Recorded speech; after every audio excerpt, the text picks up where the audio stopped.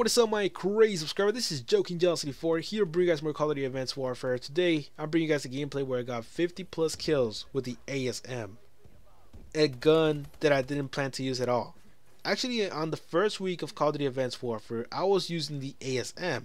The thing was that I wasn't using it with the right attachments.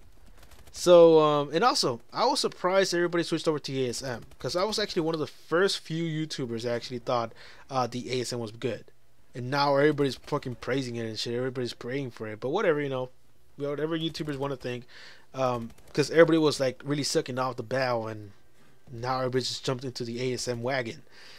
so, anyways, yeah, the ASM did pretty good for me in this gameplay. 50 plus kills. It's been a long time since I last achieved one of those, and now on the same day, I managed to get it three more times. 50 plus kills, caught in several kill streaks, won several games. I won like 10 games in a row. It was super good. And I was like, God damn, what the fuck were you the whole time? so I'm kind of excited now to actually play the game a little bit. I still hate the game. I hate it with my passion. I just wish these guns were like in the previous Call of Duty's installments, like uh, Black Ops 2 or Modern Warfare 3. I would like to see the BAL in Modern Warfare 3. That would have been badass. It would have been badass as a DLC because that gun is that gun is like all around compared to the ACR. The ACR did shake a while.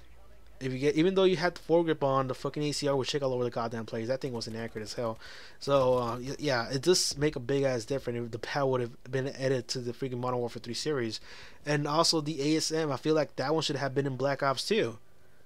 Because you compare to the MP7, it's kind of the same thing, kind of the same feeling though. The accuracy from the hip fire but it has the aiming of the P90 from Modern Warfare 3. That's how I feel, but it's mostly Modern Warfare 3 ish though. I feel like it's more P90 ish because the way it aims, the way it allows me to move, is just the same thing. And that's another thing, guys. Using this gun in this gameplay brought me back a lot of memories. If you guys have been subscribed here for the longest time and you've seen my Modern Warfare 3 gameplays and my Black Ops 2 gameplays, you should know that I'm always doing good. And Modern Warfare 3 I used to use the P90 in every single one of my gameplays, and I will achieve 50 plus kills, 40 plus kills, um, some crazy ass kill feeds. You know, it is it was just insane.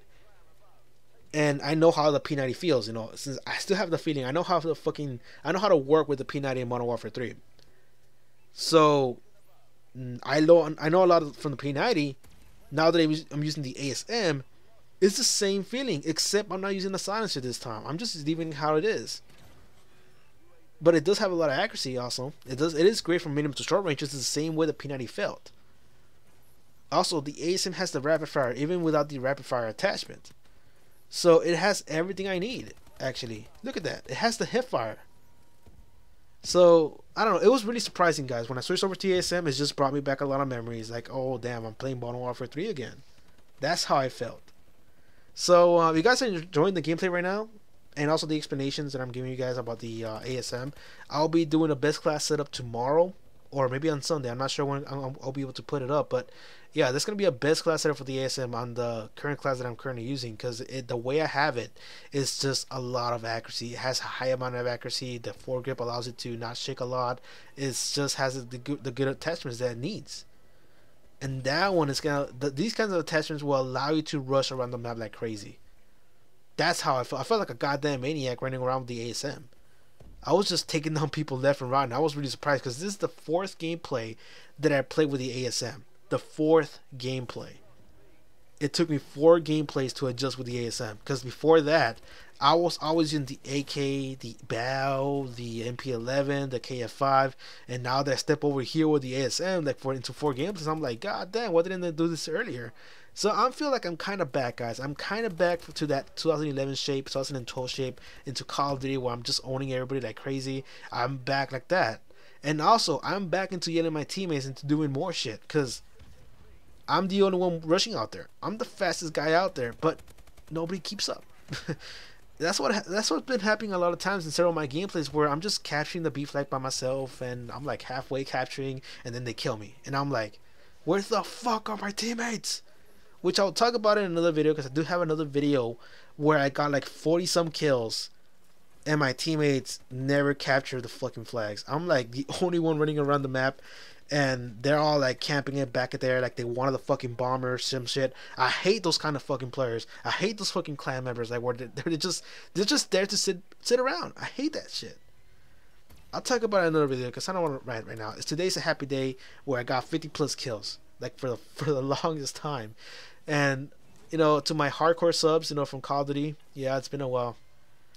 I think I'm finally back, guys. Um, I'm think I'm thinking maybe I should go full time into Call of Duty Advanced Warfare now that I achieved something going on here, you know, and also might bring some people in. I don't know who, I don't know where or when, but I'll try to do something with it. You know, I'll try to bring back my glory days of Modern Warfare 3 into this freaking Call of Duty Advanced Warfare somehow, some way. Maybe I should bring back Grassman, but I don't have a ghillie suit. They don't give you ghillie suits in this game. That sucks. It's been a while. Oh well. So in the whole gameplay, guys, I managed to call in a lot of gun turrets, a lot of spy planes, a lot of whatever that later laser they shoot from the sky is. You know, I, call, I called them in like several times, and it's been a while since you know since I even called one of those like, since the BAL. So yeah, I mean it was super. I was I was very excited to using all these kill streaks. I was, I was like, yeah, I can finally access them. You know, it's been a while. The only one I can access though is the last one. It's been I don't know. It just takes a while to get that one. And also I don't want to get off the floor. I don't like to control my kill streak. So yeah, I'm not into that. I'm not into getting the last kill streak. I wish that it was controlled by the AI, but it's not. So yeah, that's what kind of sucks about the last kill streak.